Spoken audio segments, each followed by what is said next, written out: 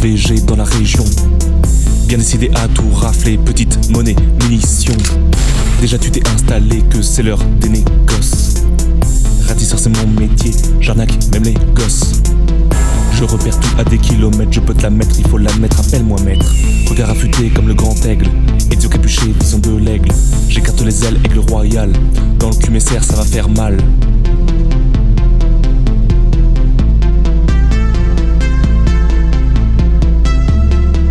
Forêt cachée, je saigne du nez. Mauvais côté. Manger des gaufres devant la télé, le sauver reste la priorité. Flairer, chiner, trouver, voler, il faut déjouer. Quand je dis déjouer, c'est pas qu'il faut déjouer, mais bien qu'il faut déjouer des plans. Ils sont toujours là, avant toi, avant moi. Espérant gagner la course, tu crois quoi? C'est boule bas. T'es pas de taille, pourquoi t'es là? J'ai sorti le katana. Je suis samouraï Goro, j'ai fini F0 sur Super Nintendo. Tous mes trésors, je les expose. Si tu t'exposes, moi je t'explose.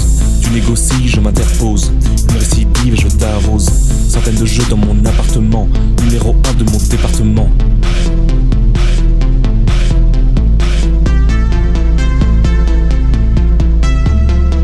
Forêt cachée, je saigne du nez. Mauvais côté. Manger des gaufres devant la télé, le sauver reste la priorité. Flairer, chiner, trouver, voler, il faut déjouer.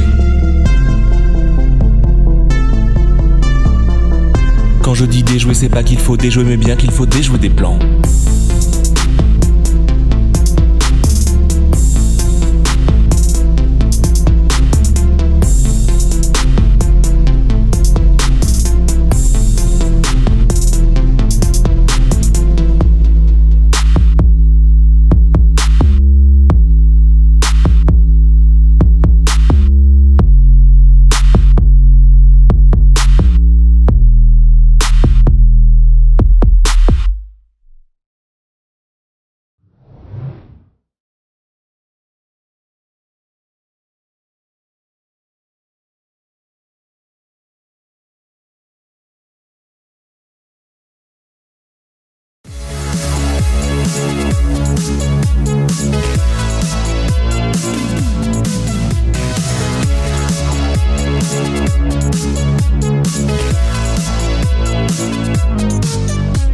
Et oui, nous aussi on a voulu faire du rap, mais là en l'occurrence on va parler d'un vrai rappeur, un rappeur que j'aime beaucoup, c'est Eminem. Donc nous avons trouvé deux CD à lui sur un vide-grenier, donc très très content. Le premier étant le best-of, donc son premier best-of, The Curtain Call. Donc il prend en compte les titres qu'il a sortis entre 98, début de sa carrière, et 2005. Du coup on retrouve des, très très bons titres, hein, comme My Name Is.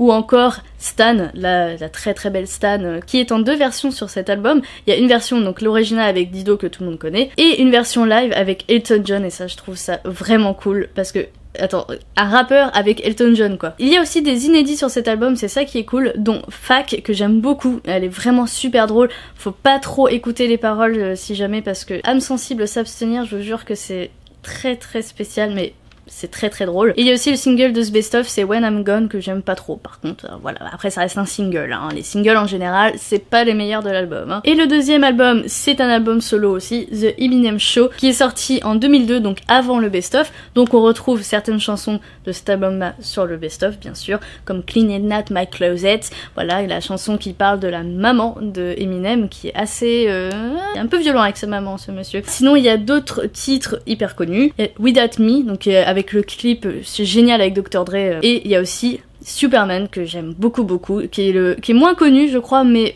voilà, elle est super bien celle-là, j'aime beaucoup. À savoir que c'est son quatrième album solo, mais c'est son premier sur son propre label, donc c'est important. Donc ces deux albums d'Eminem qu'on est très content d'avoir, ils étaient annoncés à 2 euros unité et on les a eu à 3 euros pour les deux, donc 1,50€ unité. Voilà, une petite négociation au KLM. Yo, c'est Saran le rappeur. Comment ça va les gars? Moi je vais vous présenter trois jeux vidéo, un lot super cool, des jeux de Xbox 360. C'est les premiers items sur lesquels on est tombé en vide grenier, donc autant vous dire qu'on était hyper excités parce que ce sont trois super titres. On commence par Star Wars, le pouvoir de la force Ultimate Sith Edition. Donc cette Ultimate Sith Edition, je vous dirai après ce qu'elle rajoute, mais Star Wars, le pouvoir de la force, c'est le premier jeu Star Wars, il me semble, dans lequel on incarne un méchant, et ça c'est plutôt cool. Starkiller, l'apprenti Sith de Dark Vador, donc on peut pas dire Padawan, je pense, parce que c'est un Sith. En gros, son but est de tuer tous les Jedi, donc les traquer et les éliminer. Donc c'est pas très très euh, Jojo comme situation de base, mais c'est plutôt cool. En plus, le personnage de Starkiller est incarné par Sam. Alors en fait, c'est son visage qui a été modélisé et c'est sa voix originale, donc c'est plutôt classe. À savoir que Sam Witwer, c'est un acteur qu'on retrouve dans Buffy par exemple, qu'on trouve aussi dans Star Trek Enterprise, ça c'est vraiment cool. Et dans Angel, Dark Angel, en gros, c'est un mec euh, qui aime bien Josh Whedon et compagnie, donc c'est plutôt cool. Et son visage est vraiment charismatique pour moi du méchant dans Star Wars, hein. au-delà de Dark Vador et de Kylo Ren qui font le job. Alors les Star Wars pouvoir de la force, pour moi, leur gros point fort, c'est leur histoire, leur histoire qui est vraiment crédible dans l'univers Star Wars. Et ce que je comprends pas, c'est que l'univers étendu développé a été retiré de l'univers étendu Star Wars en général. Parce que son histoire, en fait, se situait entre l'épisode 3 et l'épisode 4, donc c'est-à-dire entre la prélogie et la trilogie. Et je suppose qu'ils ont retiré cette histoire de l'univers étendu, en fait, pour laisser la place au film Star Wars 7, Le Réveil de la Force. Ça se passe du coup à peu près au même moment, et l'histoire de Starkiller, du coup, ne colle peut-être plus avec le film, mais ça n'enlève rien pour moi à la qualité de l'histoire proposée dans ce Star Wars. Malheureusement, le jeu est un peu court, parce que oui, on peut un peu guaquer le jeu, parce qu'on n'est pas obligé de tuer tous les Jedi, mais ça reste un excellent jeu à mon sens. En plus, cette Ultimate Sith Edition, en fait, ajoute une fin alternative et change du coup carrément le jeu. Donc on pourrait même dire que c'est une suite au jeu de base. Et dedans, en plus, on retrouve tous les DLC et add-ons qui ont été rajoutés à la suite du jeu original. Donc ça en fait vraiment une édition ultime, c'est trop cool. Le deuxième jeu de ce lot, c'est Star Wars Le Pouvoir de la Force 2, sorti en 2010, parce que oui, je vous l'ai pas dit, mais le premier est sorti en 2008. Ce jeu reprend à peu près le même principe que le premier, c'est-à-dire que c'est un beat'em all classique. Moi, je l'aime aussi beaucoup. L'histoire de Starkiller est encore plus développée parce qu'on joue un clone de Starkiller. Je vais pas spoiler, vous le ferez, vous verrez que l'histoire peut être interprétée de plusieurs manières différentes, c'est ça qui est cool. L'intérêt de celui-ci, c'est que Starkiller ou son clone manie deux sabres, manie la force avec classe, ce qui peut faire des éclairs un peu comme euh, Dark Sidious tout, vous voyez, et qu'il sert la cause de l'Alliance rebelle. C'est devenu un gentil. Donc ça, c'est vraiment chouette, ça rajoute une autre dimension au personnage qui pour moi déjà, je vous l'ai dit, était très très fort dans le premier. On a un espèce d'Anakin Skywalker dans l'autre sens, donc c'est plutôt classe. Donc je vous le conseille, malgré les critiques qui parfois sont mauvaises sur ce jeu. Le dernier jeu de solo, c'était Resident Evil 6. On le rentre enfin dans la collection. On ne l'avait sur aucune plateforme, ce 6. Il arrive forcément après le 5. Le 5 est à oublier. Et le 6, c'est enfin le retour de la qualité sur les Resident Evil. Ça fait plaisir. Moi, je l'aime beaucoup. Le gros plus de ce 6, c'est qu'il est magnifique, avec des ambiances vraiment chouettes, une belle direction artistique. On va en Chine, on va à plusieurs endroits, c'est plutôt classe. En plus, c'est le retour de personnages cultes des anciens Resident Evil, donc c'est plutôt classe. Par exemple, le duo Léon et Elena, qui est super culte. Alors, le petit point faible pour moi, c'est que du coup, comme on joue en duo, eh bien forcément, on a moins peur, parce que dans les survival horror comme Resident Evil, ce qui fait peur, c'est la solitude. Et dans la plupart des jeux d'horreur, quand on t'ajoute un compagnon, bah forcément t'as moins peur, mais on te le reprend. Et là, on te le reprend pas. Par contre, ce qui est vraiment cool, c'est qu'on joue différentes aventures avec les différents duos, et ces différents arcs narratifs peuvent être alternés à tout moment. Donc, quand on s'ennuie avec un duo, on passe à un autre, et vice versa, et du coup, on fait l'aventure un peu dans l'ordre qu'on veut. Les jeux étaient annoncés à 3 euros unité, ce qui fait 9 euros le lot. Nous avons réussi à négocier 7,50€ le tout, ce qui fait 2,50€ le jeu. Un très bon prix, à mon avis, pour des jeux plutôt cultes, ne serait-ce que le Resident Evil 6, et puis les Star Wars, pour moi, il fallait les rentrer dans la collection. Je les avais fait sur PC à l'époque, et je suis très content de les rentrer en physique sur une console que j'aime beaucoup. Moi aussi, je vais vous présenter trois objets, mais ce ne sont pas trois jeux. Et non, pour une fois. Ce sont trois items qu'on ne trouve pas souvent, Vine Chronique, qu'on n'achète pas souvent, même tout court. Mais là, on a craqué en les voyant parce que ce sont des mugs Simpson, voilà, Big Up Apollo, TMTC. Des mugs de chez Quick, mais qui datent de 98. J'avais 6 ans à l'époque et ils sont super vieux. Des fois, il y a des petits manques comme ça, mais ils sont propres, quoi. Je veux dire, ils ont pas bougé. Donc là, je vous montre Lisa en premier, mais bien sûr, on en a d'autres. Donc là, nous avons Bart Simpson, euh, voilà, le magnifique. Et enfin, Homer. Donc très content d'avoir ces trois personnages-là parce que ce sont nos trois préférés. Il nous manque Marge et Maggie, mais bon, euh, voilà, c'est Marge et Maggie, quoi. On aime moins. C'est déjà cool d'avoir ces trois-là parce qu'on a essayé en fait de se renseigner sur internet. On voyait surtout celle de 2000 que j'avais personnellement en fait. Et là, du coup, je croyais que c'était celle-ci quand je les avais vues. Et en fait, non. On ne sait pas si elles valent une fortune. Peut-être. On ne sait pas. Ça se trouve, on a payé euh, ça parce qu'on les a payés quand même que 2 euros les trois. Il faut le dire. C'est vraiment pas cher. Vraiment très gentil la dame en plus qui nous les a vendus. En tout cas, on les a pris parce qu'elles étaient vraiment très jolies. Je les préfère au final à celle de 2000. Les couleurs sont chouettes. Trois jeux?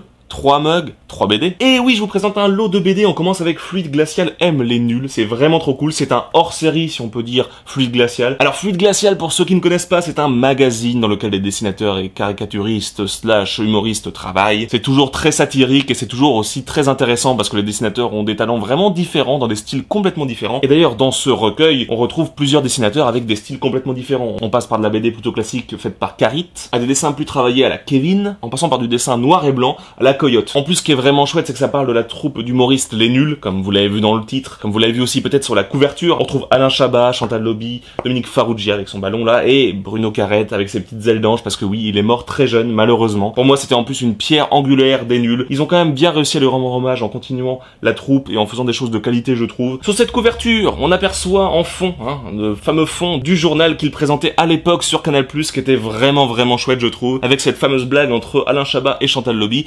Chantal, vous avez un tampon sur l'oreille.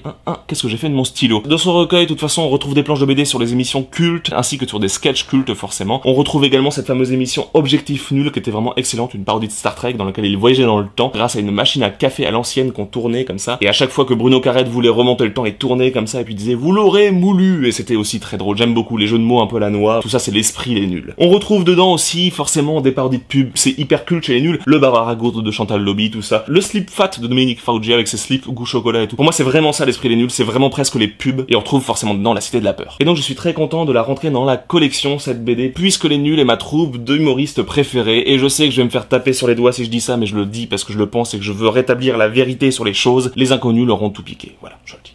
La deuxième BD de ce alors c'est pas une petite BD, hein, c'est une BD de 200 pages je crois, je crois que c'est un truc comme ça. Oui c'est ça, 200 pages, alors je peux vous dire qu'elle pèse lourd. C'est une BD de Roman Muradov qui s'appelle Aujourd'hui, Demain, Hier. Pour tout vous dire, je ne connaissais pas du tout cette BD avant de l'acheter en vide-grenier, je l'ai vraiment acheté en mode coup de cœur en voyant la couverture. Alors on s'est forcément renseigné après, et donc Roman Muradov est un russe exilé aux états unis et ce roman graphique, parce que oui, on dit roman graphique, on dit pas bande dessinée hein, pour le coup, est hallucinant et raconte pas mal de choses autobiographiques et des choses surtout très poétique. Graphiquement, il y a des styles différents à chaque page, c'est assez hallucinant. Là, on retrouve un style assez pop art, vous savez, avec le décalage des couleurs, c'est vraiment classe. Là, on a quelque chose de très crayonné. On a même des pages très minimalistes, comme ça, avec, vous voyez, une case noire New York, une case noire 1947, une autre case noire avec juste une petite lueur, et une dernière case noire toute noire. C'est vraiment classe. Là, on a une planche qui fait penser à de la gravure, ça fait même presque braque, un petit peu dans l'esprit. Et là, on est presque sur le chat du rabbin de Johannes Farr, c'est assez ouf. Autant de styles différents dans la BD d'un seul auteur, c'est assez hallucinant pour le coup. Ce qui est assez intéressant en plus, c'est qu'apparemment l'histoire se lit un petit peu dans le désordre, un petit peu comme on veut, donc c'est assez cool. Et donc j'ai fait une dédicace à ma maman, si elle regarde cette vidéo,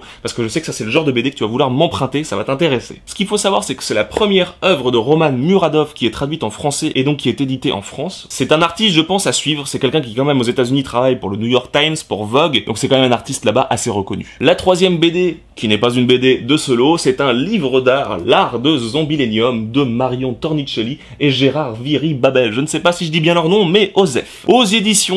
Alors ça va être très compliqué de tout vous expliquer dans A à Z parce que Zombilenium, il y a trois choses. On va essayer de faire les choses simplement et schématiquement. L'art de Zombilenium, c'est un livre making of, on va dire, du film Zombilenium, un film d'animation d'Arthur de Pince, lui-même tiré d'une BD en trois tomes pour l'instant d'Arthur de Pince qui s'appelle Zombilenium. Donc vous voyez, ça fait beaucoup d'informations à ingurgiter d'un coup, mais en gros, il y a une BD qui s'appelle Zombilenium qui est trop cool. Il en a fait un film d'animation qui vient juste de sortir là il y a un mois de ça, j'avais même pas entendu parler du truc. Et là du coup, Dupuis nous propose un livre de making of, l'art de Zombilenium du film Zombilenium. Alors moi, j'aime beaucoup Arthur de Pince pas du tout pour Zombilenium parce que je ne connaissais même pas, c'est dingue de pas se renseigner assez sur un auteur comme ça. Mais c'est pas grave, c'est pas grave, je vais découvrir. Et donc quand je suis tombé en vide-grenier là-dessus et que j'ai vu ce genre d'illustration, j'ai tout de suite reconnu le style, ça m'a tout de suite plu forcément. Alors, Arthur de Pin, c'est un style vectoriel, on va dire. Alors, je sais pas si c'est clairement dit pour vous, mais alors le vectoriel, c'est le dessin informatique, c'est un, voilà, c'est un terme technique avec des aplats de couleurs. Il a, voilà, il a un style très particulier. De toute façon, vous le connaissez peut-être si vous suivez un petit peu le milieu de l'érotisme grâce à Péché Mignon. Moi, je le connaissais forcément pour ça parce que pour moi, c'est un auteur à suivre dans la BD érotique. C'est un auteur hyper intéressant, ne serait-ce que déjà pour son style graphique et son humour propre à lui. Alors, un style graphique très particulier parce qu'il représente les femmes avec caricature, petites, avec des grands yeux, un grand visage, un peu la manière d'une pop limite, c'est un peu le délire là. Et ça change du coup des auteurs de BD à la Manara et compagnie qui font des femmes très élancées, très féminines. Les deux styles sont intéressants, mais pour le coup, Arthur de Pince est arrivé avec un style plus moderne, je dirais, et moins consensuel. En plus, big up à toi Arthur de Pince, c'est un auteur breton à la base, donc voilà. Alors nous, auteurs bretons, bah on aime bien, forcément, on n'est pas chauvin, mais bon, ça fait plaisir. Du coup, je m'égare, je parle d'érotisme et tout, mais Zombilenium, revenons à Zombilenium. Alors Zombilenium, c'est un film d'animation, la BD d'ailleurs c'est le même pitch, qui parle de monstres qui tiennent un parc d'attractions, voilà, un parc d'attractions de monstres, c'est très bizarre, mais ça peut être cool. Et du coup, pour résumer très simplement, un humain arrive là-dedans et ça chamboule tout. Et ce qui est dommage, c'est que ce film d'animation, on n'en a pas du tout entendu parler, j'ai pas entendu parler de la sortie, pourtant j'ai pas l'impression d'être dans une bulle, hein, je m'intéresse à pas mal de choses sur la BD, et je sais pas ce qui s'est passé, c'est dommage. J'espère lui que ça va marcher ce film. En tout cas, nous on le découvrira du coup plus tard en Blu-ray. On reste dans le thème du cinéma avec cet item vraiment cool qu'on a trouvé. C'est une recharge de cartes Trivial Poursuite spécial cinéma. Alors, je vous ai présenté des tasses de 98 et là je vous présente un jeu qui date de 94, donc c'est encore plus vieux. Donc c'est vraiment cool. Donc ça veut dire que les questions du coup s'arrêtent en 94, c'est logique. Au Roi c'est un pilier hein, dans le cinéma, c'est une référence, tout le monde le sait, 94, Roi. Comme je l'ai dit, c'est une recharge, donc en fait ça fonctionne sur n'importe quelle Trivial Poursuite, ça peut fonctionner avec notre Trivial Poursuite classique, ou celui euh, de la gastronomie que Sarah aime beaucoup, hein, et il n'arrête pas d'en parler, les couleurs restent les mêmes et tout ça, donc euh, voilà, tant qu'on a des camemberts et un plateau, on peut jouer avec, et c'est ça qui est cool. On a 250 cartes, donc il y a de quoi faire, ça fait 1500 questions, hein, donc euh, il y a de quoi s'occuper, hein, ça c'est sûr. Donc les systèmes de ce Trivial poursuite spécial cinéma sont le cinéma français, le cinéma Hollywood et étranger, le cinéma de genre, derrière l'écran, star féminine et masculine. Très bonne catégorie. On a un peu, forcément, comme à chaque fois qu'on achète des trucs trivial poursuite, on sort quelques cartes comme ça, on regarde les questions et vraiment, il y a vraiment de tout, hein. ça, ils ne mentent pas. Un peu plus de cinéma français, oui, mais euh, voilà, on a un peu de tout, c'est cool. Donc très content d'avoir rentré ça dans notre collection, parce que Trivial Poursuite, on aime beaucoup, il faut le dire, hein. c'est un de nos jeux de société préférés. en tout cas moi, je ne sais pas après Sarah.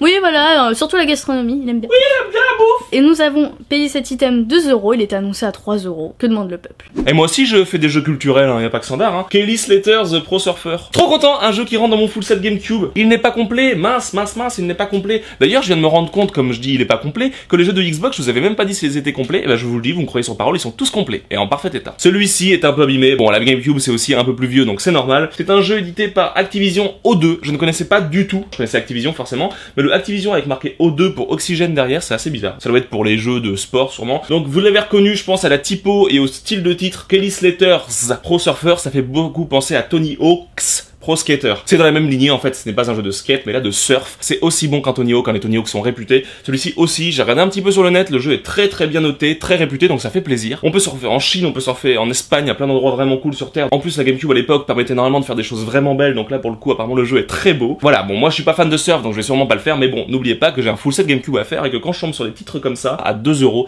et ben je le prends direct. Et avant de passer au coup de fusil, nous restons dans les vagues, dans la mer et tout ça, l'eau qui mouille avec ce Blu-ray magnifique que nous avons trouvé vraiment très très fiers hein, de le rentrer dans la collection parce que ce film est une vraie référence. Hein. C'est vraiment le meilleur film qui est sorti en 2012, il faut le dire. C'est Battleship, pardon à ceux qui aiment ce film, mais voilà, on sait, on, l'a vu en fait, on s'est dit tiens, mais c'est pas le film avec Rihanna là qui, qui sert à rien dans le film? Si, si, c'est ça. Ah, mais c'est un steelbook. Ah bah c'est cool. Et franchement, par contre, le steelbook est très très beau, ça a rien à dire. C'est pour ça qu'on l'a pris. Hein. Donc gros big up à Steelbook Paradise et Dark Magikarp. Est-ce que vous l'avez vous dans votre collection? Parce qu'il faut l'avoir. Même si ce film a été quand même nominé 7 fois au Razzie Award, c'est pour récompenser les pires films qui sortent. Hein, du coup, c'est l'équivalent des Oscars, mais inversé. Voilà, vous avez compris, je pense. C'est les Oscars de l'Upside Down. C'est ça. mauvais côté. Ils ont remporté le Razzie du pire second rôle pour Rihanna, du coup, voilà, qui ne sert à rien. On a quand même revu la bande-annonce de ce film, et le seul moment où elle ouvre la bouche, c'est pour faire boum. De cette année-là, ce n'est pas lui qui a remporté le Razzie du pire film, mais c'est Twilight chapitre 5. Coucou à Dinkle, hein, euh, voilà, c'est pour toi cette petite information. Sachant qu'en plus, Kristen Stewart, du coup, l'actrice principale de Twilight, a eu le Razzie de la pire actrice principale. Voilà Les synopsis officiels du film. Au large d'Hawaï, l'US Navy déploie toute sa puissance. Mais une forme étrange et menaçante émerge. Au bord de l'USS John Paul Jones, le bassiste de Led Zeppelin, le jeune officier Hopper, et pas Hooper de Stranger Things, l'amiral Shane, le sous-officier Raix, je sais pas comment on le dit, vont découvrir que l'océan n'est pas toujours aussi pacifique, parce que c'est dans l'océan Pacifique Alors ce n'est pas précisé dans le synopsis, mais en fait ce film est une adaptation du jeu Bataille Navale. Et c'est vraiment officiel parce qu'il y a quand même Hasbro du coup qui édite le steelbook. Et c'est une édition vraiment super cool parce que dedans on a quand même euh, du coup le DVD, enfin la copie numérique du coup dans sa petite pochette. On a un DVD bonus et le Blu-ray enfin derrière. Donc euh, voilà,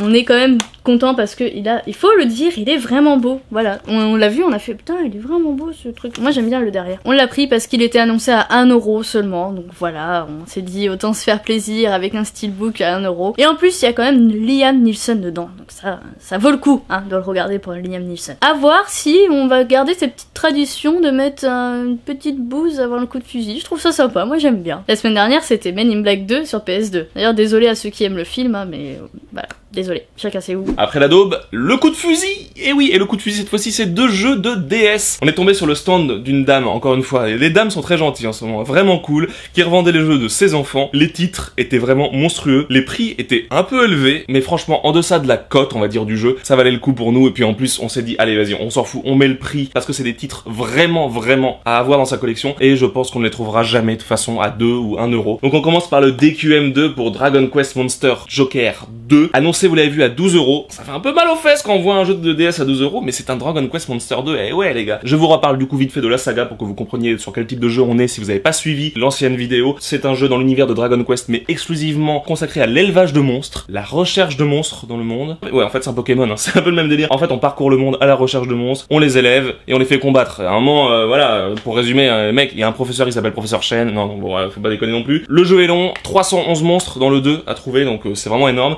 Et ce qui est cool dans le 2, en plus du 1, c'est qu'il y a un mode multijoueur. Et ça, c'est vraiment chouette. Là, on est vraiment sur un Pokémon. Là, vraiment, vraiment. Les Dragon Quest Monster, en fait, ce qui en fait vraiment des jeux cultes, c'est déjà que le jeu est long, comme je vous l'ai dit, que c'est magnifiquement beau. Mais alors ça, c'est les jeux japonais, quoi. C'est mais genre, t'es là devant, tu fais, mais c'est pas possible, quoi.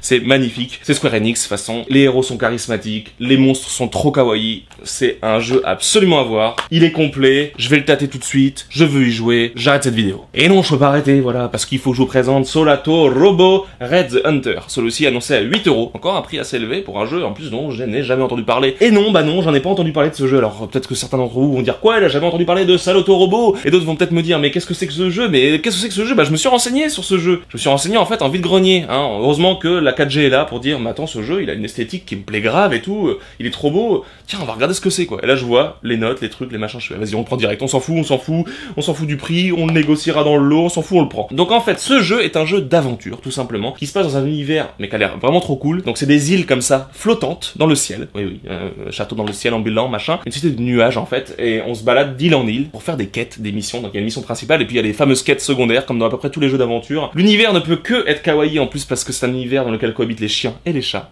Nous on joue un chien, c'est trop mignon, qui combat en fait dans un méca. On a un espèce de méca qui a des ailes, qui a euh, quatre ou je sais plus, il y a une histoire comme ça, quatre pouvoirs, voilà, soulever, attraper, étourdisser et lancer. Voilà, en fait on se balade dans le monde avec notre méca et on fait plein de trucs, ce qui fait vraiment de ce jeu un chef-d'œuvre parce qu'on peut aller jusque là clairement. D'après ce que je vois, là je vous parle de ce jeu sans le connaître. Je ne fais que citer ce que j'ai lu et vu dessus parce que du coup ça m'a emballé, je me suis renseigné, j'ai regardé des vidéos, j'ai fait what the fuck, c'est trop bien. En fait ce qui a fait vraiment le charme, c'est les dialogues, les personnages parce que apparemment c'est très très très travaillé. Il y a des vrais sentiments qui dégagent des personnages, il y a une vraie ambiance qui se crée. Ça ne pouvait qu'être un bon jeu parce que ce sont les développeurs de tel Concerto sur PlayStation, ce jeu d'aventure aussi cultissime. Cet éditeur il s'appelle Cyber Connect 2 et c'est eux qui ont développé. Alors là ça va vous étonner peut-être parce que ce n'est pas du tout le même univers ni du jeu dont je viens de vous parler ni de celui-ci. C'est les développeurs de Naruto Shippuden Ultimate, donc tous les Ultimate Ninja machin truc. Donc c'est assez étonnant des jeux de combat. Mais en tout cas ce sont quand même des jeux réputés c'est Naruto hein, pour être des très bons jeux de combat. Je suis content de le rentrer dans la collection clairement. Je ne le connaissais pas encore une fois, une découverte faite grâce au vide grenier. Ça fait plaisir mon dieu ça fait plaisir. C'est vrai qu'on n'a pas forcément cette euh, ambiance là en magasin quoi. On va être sur des stands et puis quand on voit les prix des trucs on se dit what the fuck ça ça a l'air bien la couverture le truc et on craque pour des jeux qu'on connaît pas et dont on va forcément tomber amoureux donc ça fait plaisir. Un excellent titre, pas un triple A ultra connu qui rentre dans la collection donc ça fait plaisir. Donc solo, voilà pourquoi c'est le coup de fusil. Je vous l'ai dit, le Dragon Quest 12 euros, le Solato Robo 8 euros, ce qui fait 20 euros si je sais bien compter. Et nous avons négocié parce que oui, on peut se permettre de négocier un petit peu sur des prix comme ça, les deux pour 15. Ce qui reste pour certains peut-être cher pour des jeux de DS, mais deux titres absolument à avoir à mon avis dans la collection au-delà justement d'un Pokémon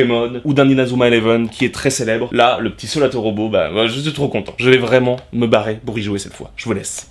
Très beaucoup de fusils, on est trop content. C'est tout pour ce vide-grenier. On espère que la petite chanson du début vous aura plu. Enfin, le petit rap, parce que chanson, ça fait un peu genre la la la la la. Excusez-nous encore pour les deux semaines d'attente, mais j'espère que en, ayant vu hein, le travail qu'on a fourni, ça explique en fait cette attente parce que alors ce qui était long, c'était d'écrire les paroles parce que voilà, c'est pas facile hein, de faire des raps, surtout qu'on a vraiment, on s'est vraiment appliqué. On a voulu faire une chanson qui a raconté quelque chose, voilà, on voulait pas faire n'importe quoi non plus, et de tourner tout ça, de monter, voilà, beaucoup de Si jamais ça vous intéresse, dites-le nous dans les commentaires. On peut vous proposer de mettre le clip tout seul, l'uploader sur une vidéo à part, comme ça si vous voulez euh, la réécouter comme ça de temps en temps en soirée devant vos potes et tout. Ça pourrait être trop bien.